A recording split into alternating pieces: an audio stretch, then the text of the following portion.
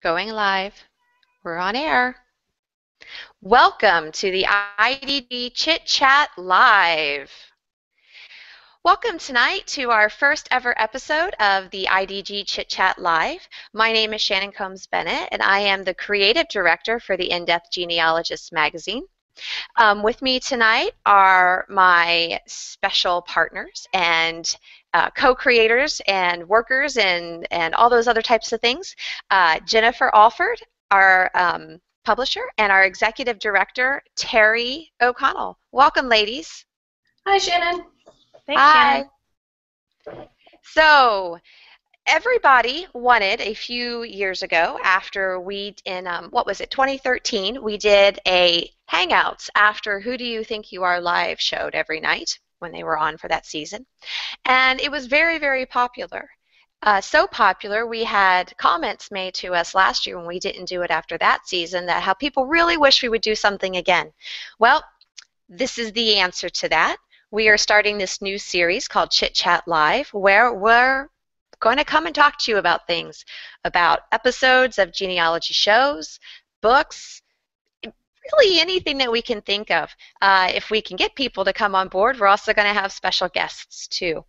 Now, this show was created, um, like I said, to answer that call. And if you have any comments or suggestions or want to talk to us, please make sure to let us know. We'd love to have uh, to hear from you.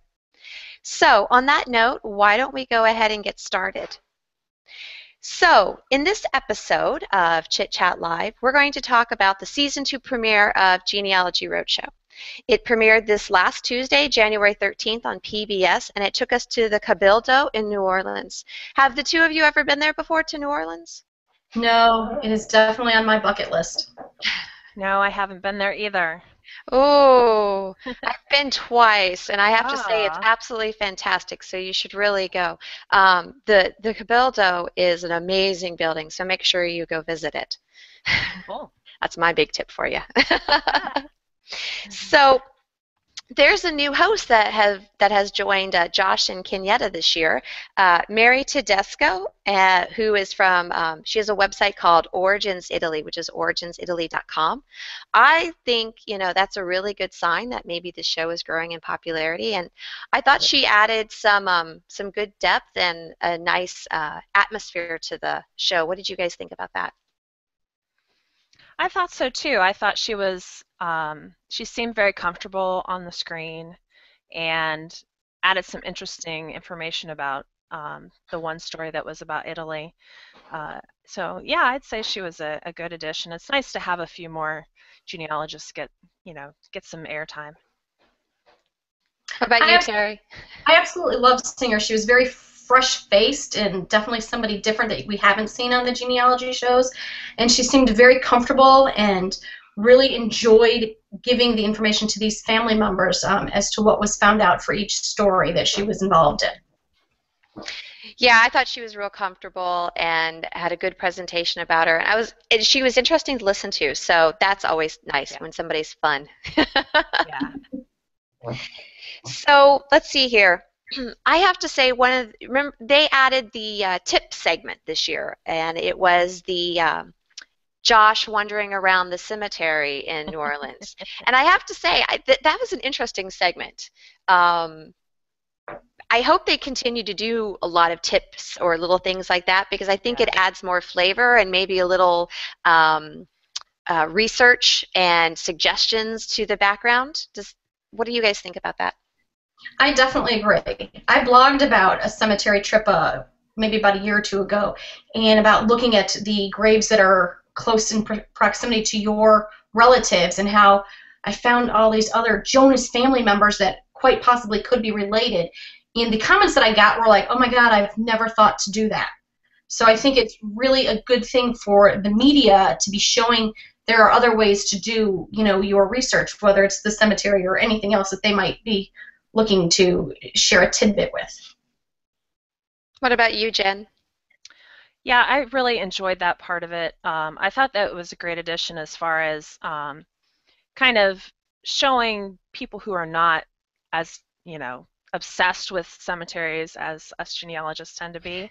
Yeah. Um, just some of the things that we typically look for and give them some ideas. And I think he also talked about um, how to find out where your people are buried, you know, talking to um, funeral homes and contacting the, you know, looking for the death certificates. So I thought that was helpful as far as, you know, there are people who they may not know for sure where their, you know, great grandfather's buried or something like that. So I was pleased to see them kind of giving some research tips along the way because so much of it's just, you know, they sit there and and look at the newspaper articles and the census records and don't really understand, you know, that this is something that they could access anywhere. That Right. they could go and see it in their hometown. Oh, there's a cemetery where all our relatives are buried and learn about them there. Yeah, I have to say I'm a I'm a little weird, but y'all probably knew that.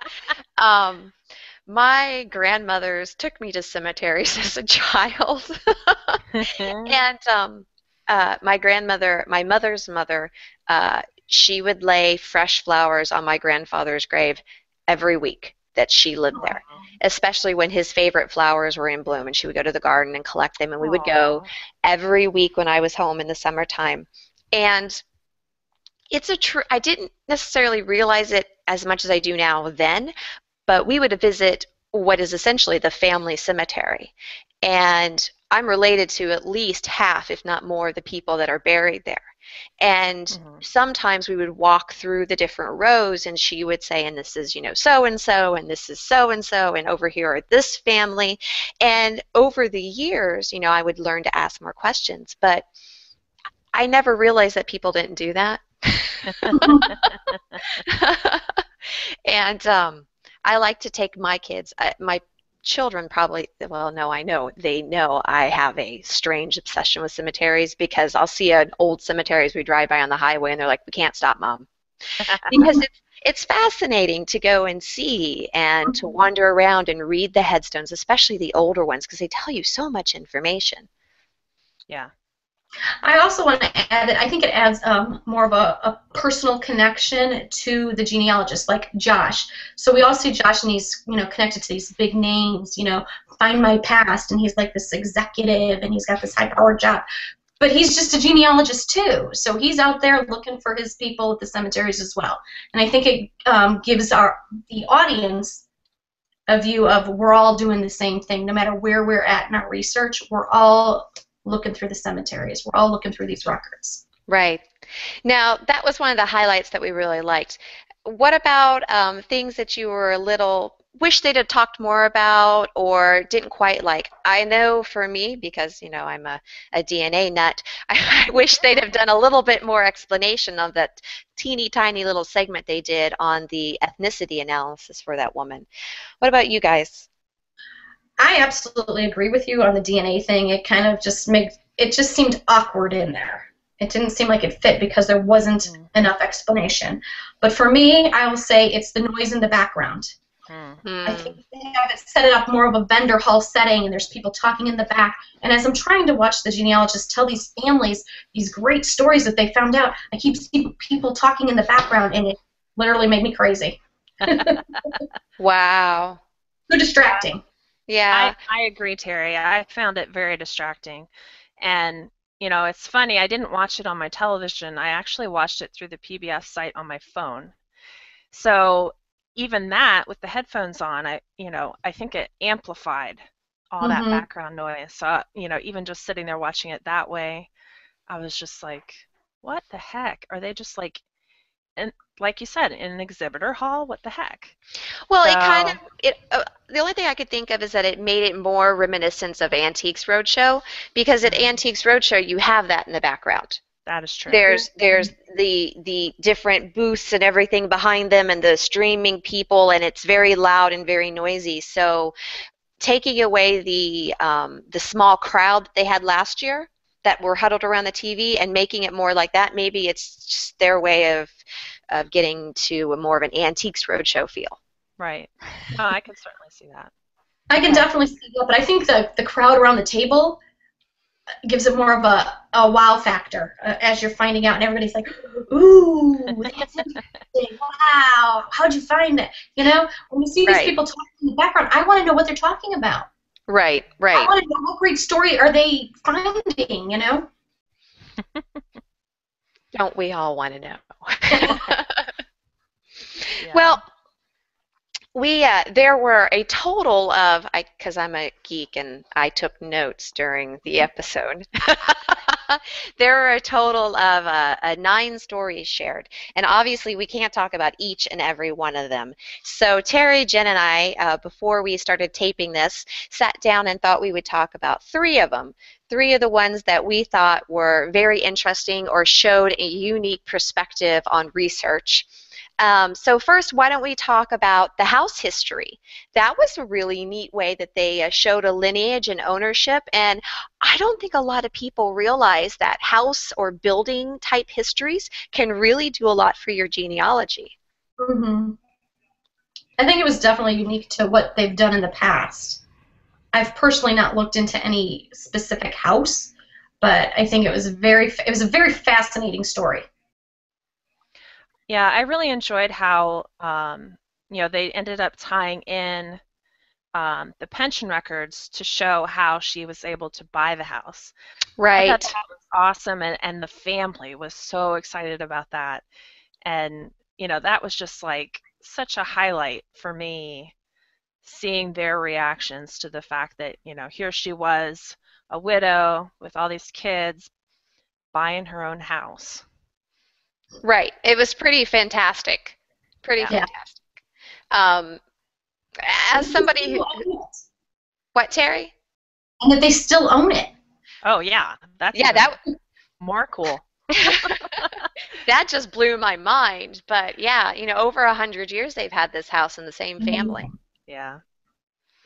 So um, the other one, what we thought was interesting, especially in the way that it used public records and newspaper articles, and I know this is a, uh topic near and dear to Terri's heart, was what I like to dub the black sheep episode about the gentleman who skipped town. what did you think about that, Terri, as a uh, forbidden or black sheep ancestor researcher? Well, I love the fact that you know we can come in with these stories and say, you know, great grandpa disappeared and nobody in the family knows where he went, and that today we can look and we can say, oh, well, isn't he a slippery little sucker? And find it. You know, it's, it's it really isn't a secret anymore. The records are there. I mean, I myself have quite a few black sheep people um, that I have looked into, and they're absolutely fascinating you know, a lot of people are afraid to look into their black sheep because they don't. You might not want to know. The family might not want to know what you find, but they're the most interesting, and they left the most records. So you know, the newspapers, the court records, amazing finds. and really can add a lot of depth into your person. I highly recommend it. What about you, Jen? or did Terri say everything? Well, she did say a lot of, of what I was thinking, um, but I particularly found it interesting that, you know, here the, the family that was in New Orleans all this time had thought, you know, oh, he's gone. You know, he he had left the family. He probably, you know, had died and, and gone on his way. And then as they were looking through all the newspaper clippings, they find a clipping that's in New Orleans that says, oh, by the way, he had died in California, and you know, so this part of the story had not filtered into the family's lore, even though it was there locally in New Orleans. So it's kind of interesting what you can dig up after the fact. Um, you know, especially him having, you know, a whole nother family and wife and all that kind of stuff out in California. Now, I also think that that shows to people who aren't necessarily, um, who don't do a lot of extensive research or research for other families, that once again, if you're going to delve into your family's past, you never know what you're going to find. And you kind of have to be prepared that not everybody is as good and as gracious and as wonderful of ancestors as we hope they are. Everybody has some dirty laundry, and there are skeletons in those closets. So you never know what you're going to find. Very true. And I think the important thing to remember is whatever sins they've committed have no bearing on you. Right. And that I think is an important thing to remember too. Absolutely. Um, mhm. yeah. Well, the last one that we thought was very interesting and, and wanted to comment on was the Italian story where um, the married couple discovered that they have ancestral roots to the same tiny little island. um, what did you all think of that? I mean, I personally found it fascinating, and it was like a small world story. Definitely a small world story. I, I was halfway afraid that they were going to find out that, you know, they were far distant cousins or something like that, which, you know, who knows, they could have been, but um, but I, w- I was, you know, glad to see that, you know, they were able to track down through um, through the birth witness from the, the great great grandparents or whatever it was, you know, that they had basically been that close of a family, you know, that they came over on the same boat and all of that. I mean, that's just awesome. And then for them to actually meet, I mean, talk about serendipity. Fate definitely was a, a part of their lives long before they were even thought of. Yeah. And I liked how they uh, showcased and talked about passenger records because I think that's a record set that not a lot of people are comfortable with or really understand how to use. But passenger records can hold a lot of vital information.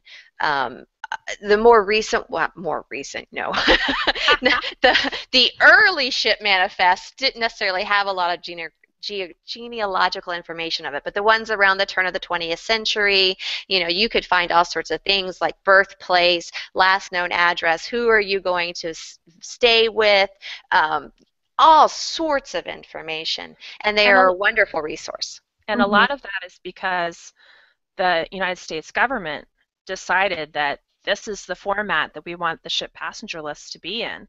And they disseminated that so that they could better monitor who was coming into the country and, um, you know, weed out the people who might be ill or that don't have anyone here and, you know, could become, you know, a burden on society. Hmm. you know, like the the single females were discouraged if they came to, came on a ship and they didn't have family that was here or husband or someone who was going to speak for them, they'd get shipped back. Right. So it's it's interesting. I've been researching a lot about immigration lately, and you know, it's really interesting how how much the law has has created all these records that are just invaluable as as you go and, and learn more about when your family came over and everything. Yeah, there's a lot of stuff. Immigration Love it. records are awesome. They are. And a lot of people fall into that trap of everybody came through Ellis Island and no. yeah. I had no one come through Ellis Island. Me either. Philadelphia. Hmm? I don't Philadelphia. anybody either. Well, and Well, then a lot of mine are like way before Ellis Island. So Mhm. they came over on ships that don't I don't even know their names. Well, ladies, um, our time is almost up this evening, and I want to thank you all for joining us today. Uh, and thanks to Terri and uh, Jen for coming and being on the panel this evening. We'd love to hear what you thought of this. Please let us know through our various social media accounts or leave a comment below on this uh, video site. Um, don't forget to check out the In-Depth Genealogist website and our magazine Going In-Depth, which can both be accessed at theindepthgenealogist.com. So, thanks for everybody showing up, and we look forward to seeing you next week when we talk about the second episode in this season of Genealogy Roadshow, where they'll be at the St. Louis Central Library. Um, and on that note, I look forward to seeing you all then. Thanks. Thanks. Good night. Bye. Good night.